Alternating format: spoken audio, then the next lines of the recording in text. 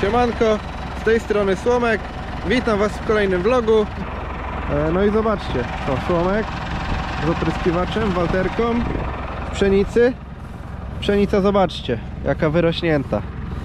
Liście trochę są przypalone od pierwszej dawki azotu. E, Tak, tak to wygląda. E, Na głównym źdźble pojawia się już gdzieś tutaj zarys kolanka. Za chwilę będzie kolanko jeszcze, jeszcze trochę tego ciepła, które mamy i będzie, e, będzie fajnie. Pszenica, e, jak widzicie, nie jest za gęsta, była rzadko posiana, e, ale to w zupełności wystarczy. To jest fajny, fajny łan do prowadzenia. E, Ja zmykam do środka i zaraz Wam powiem, e, co ja tutaj robię, co ja tutaj wyprawiam, bo no coś się, coś się święci.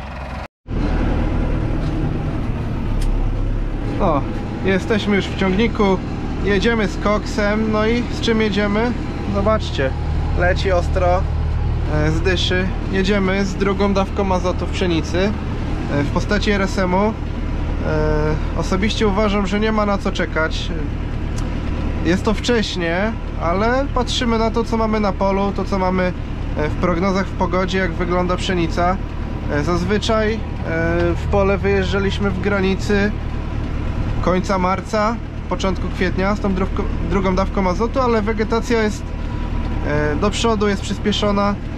E, Uważam, że nie ma co tutaj czekać. E, Pojawia się już zarys kolanka, już jest lekko uniesione, może jeszcze nie na centymetrze, ale to kwestia tygodnia i pszenica będzie do regulacji, będzie do skracania. Uważam, że lepiej polać RSM-em wcześniej, przed ochroną, niżeli potem jak będziemy mieli rośliny już ochronione, spowodować infekcję. Tak, to zawsze fungicyd będzie działał jako taki kurcze, jako, jako taka maść, która zabezpieczy te rośliny przed e, wnikaniem chorób.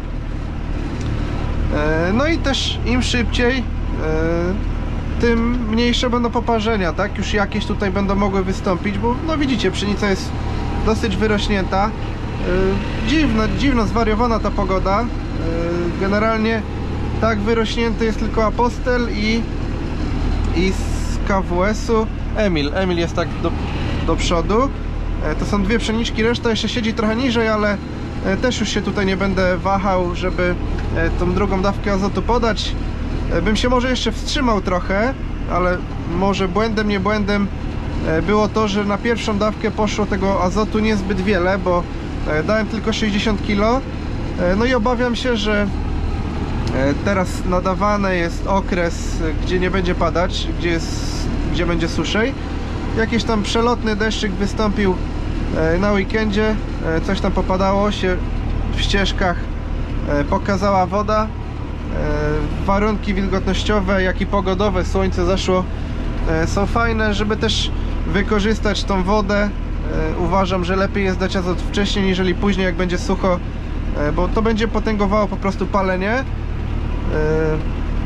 No i też e, RSM jest takim nawozem, w którym połowa to mocznik, tak? E, Nie wiem, czy mocznik z tej pierwszej dawki azotu już działa, a co dopiero e, ten, który no teraz podajemy, tak? On będzie działał za, za jakiś czas, tak? Gleba no jeszcze nie jest nie wiadomo jak nagrzana, ma może około 6 stopni. Pewnie dwa tygodnie zanim ten mocznik zacznie działać. Uważam, że jeśli drugą dawkę ktoś ma wyrośniętą pszenicę, zasiadą w terminie, e, ona się już nie będzie krzewić na pewno. E, Nie wpłynie to tutaj mm, ten azot na jakieś nadmierne e, przekrzewianie, to uważam, że śmiało można jechać no i dokarmiać tą pszenicę. Teraz leci dawka 280 litrów na hektar. Jestem, widzicie, przeziębiony znowu. Gdzieś tam mnie zawiało. E, Co łącznie będzie dawało około 180 kg czystego azotu i na tym zakończamy nawożenie. A na działkach, gdzie e, słabsza ziemia bądź miejscowo, e, tam gdzie słaba ziemia, wiecie, że idzie sobie tam tą dawkę zmniejszyć. To sobie procentowo tutaj na komputerku pyk, pyk, pyk zmniejszam, żeby jakieś tam 160 kg było w tym czystym składniku. E, No i co, no azot podany, uważam, że im szybciej, m, tym lepiej, jeśli już mamy coś takiego, że, e, że tutaj zaraz będzie e, to pierwsze kolanko. Też nie będziemy się głowić, załóżmy za dwa tygodnie, za dwa tygodnie czy 10 dni, czy jechać z regulacją, jak będzie pogoda, czy jechać z RSM-em. No i to, to jest tak, to już będzie zrobione. Co będzie zrobione, to będzie zrobione. E, Tego szybkiego azotu teraz będzie trochę więcej, także jak się zrobi te ciepłe dni, jak mamy, jak, jak się zrobi jeszcze cieplej, no to będzie z kopyta, z kopyta będzie sadziło do góry. E, Początek marca był, no myślę, że dość fajny, bo w pierwszym tygodniu tam spadło 20 kilka milimetrów opadu. E, Na tej bieżącej jeszcze jest. Weźmy sytuację z kwietnia zeszłego roku. U nas rozlałem RSM na drugą dawkę w pszenicy bodajże 1 albo 2 kwietnia, zupełnie na początku kwietnia. I przez cały kwiecień spadł 1 mm opadu.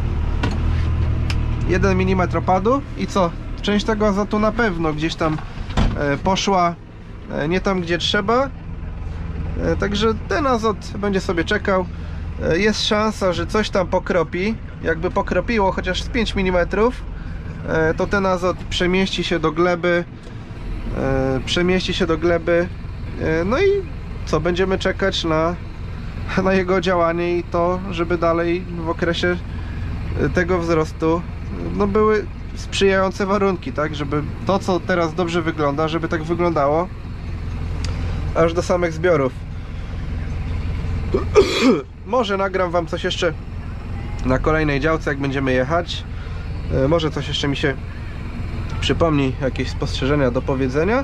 E, No a teraz e, zawijam się, jadę się zatankować, jadę zjeść obiad akurat. No i dzida dalej w pole. Fajnie, że teraz już długo jasno. Można do 18 i tam po 18 jeszcze jest widno, także można robić trochę dłużej. No, dobra, zaraz wracam. O, jesteśmy już na kolejnej działce. Tutaj sobie mm, tą dawkę zwiększyłem delikatnie do 300 litrów. E, no jest tutaj po prostu dobra ziemia, mocna ziemia. E, I akurat potencjał na takich, no wiadomo, że im lepsza klasa ziemi, jak coś wygląda dobrze na starcie, e, no to jest duża szansa, że takie zostanie. Delikatnie tego azotu więcej. Generalnie teraz sobie liczyłem, prawdopodobnie zbraknie mi trochę RSM-u. Nie wiem co tutaj wykombinować, czy dostanę gdzieś RSM-u. No nie chciałbym kupować całego auta RSM-u, bo po co mrozić sobie taką gotówkę? E, Pewnie skończy się na tym, że dokupię sobie jakieś tam 3 czy 4 e, tony jakieś saletry, czy, czy, czy czego co tam będzie e, potrzebne. Już bardziej pewnie z myślą o kukurydzy, czy o burakach cukrowych. W każdym bądź razie zobaczymy. Tutaj widzicie, gdzie troszkę wody, to zaraz jakieś, nie wiem, czy, czy mokrze jest trochę dla tej, na tej pszenicy, ale e, summa summarum wygląda dobrze. O, tutaj ściecha e, wydeptana przez zwierzęta. Gdzieś tam na glinie e, ta woda została się, ciągnik cały zachlapał. Najgorsze jest to w tych gwiazdach wiosennych na pole, że co nie wiedziesz na pole, to ciągnik jest do kapitalnego mycia. A to wiecie, od gliny to cały czas leci, cały czas płuczesz, cały czas leci. Cały czas, cały czas. Też dla osób, które mają w zanadrzu, w rękawie, że tak powiem, e, na drugą dawkę przewidziany mocznik, e, to uważam, że mocznik, tak samo jak i RSM, e, można by pomyśleć o tym, żeby już po prostu wysypać na pole. Niech on sobie czeka. Wiadomo, że akurat w przypadku mocznika, no, przy części RSM-u, to właśnie ta forma amidowa, no z niej mogą płynąć straty tego azotu, tak? Ten azot się najszybciej utlenia do atmosfery. E, no ale mówię, ja liczę, że coś tam przekropi, e, przepada, e, no to byłoby bez szwanku. A po zbożach czy po rzepakach, już rzepakach to już nie mówić, ale po zbożach już widać te miejsca, gdzie tam się nie dolało RSM-u, że jest duża różnica. Jednak ten wcześniej podany azot przy takim rozkładzie pogody, no to był dobrym krokiem. Nie wiadomo jak się ta wegetacja potoczy, ale generalnie im dłuższy okres wegetacji, im dłużej roślina będzie zielona, im dłużej będzie wegetowała, tym większe powinna wydać plon. A co do tego, e, to już zobaczymy e, za jakiś tam dłuższy moment. E, Powoli można się przymierzać. Na tej działce jest kapkę mniejsza ta pszenica, ale wy, wybiórczo działkami po, powoli będzie się można już przymierzać do Myślę, że i ochrony i regulacji najważniejsze, bo jak na pierwszą, na pierwszy strzał nie skrócimy, e, póki jeszcze tej wody trochę jest, to później już możemy w ogóle nie skrócić. E, To jedno. A no i drugie, e, wrócę do Was może nie dzisiaj, nie jutro, ale w ciągu tygodnia też będę planował rozsiać tą trzecią dawkę azotu w postaci granuli na tą pszenicę, tam na te 5 hektarów moje próbne na jednej działce, te trzy ścieżki, na drugiej jedną ścieżkę. E, Też słuszna uwaga, e, jedna z osób napisała mi tam, że e, tam gdzie jadę raz tylko na tej jednej działce, e, no to powinienem przejechać po prostu w tom i z powrotem i wyrzucić przez limiter. No i faktycznie e, no, trzeba było tak zrobić. W drugiej dawce uwzględnię, uwzględnię ten wariant. Tutaj o widzicie ślady odkłada e, podczas pobierania e, próbek do analizy. Wyników jeszcze nie mam. Strasznie wolno to wszystko idzie w tym roku. E, Strasznie długo się czeka e, na te próbki. E, Lecą sobie w kulki. Może nie lecą w kulki, a bardziej rozchodzi się o to, że no, dużo ludzi gdzieś tam chce skorzystać z tego programu wapnowania.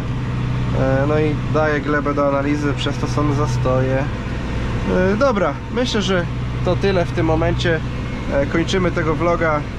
Jeszcze raz trzymajcie się, na razie, cześć.